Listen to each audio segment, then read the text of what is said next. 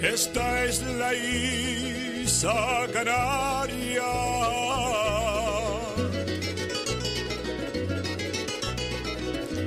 Divertida y parrandera. Esta es la Isa Canaria.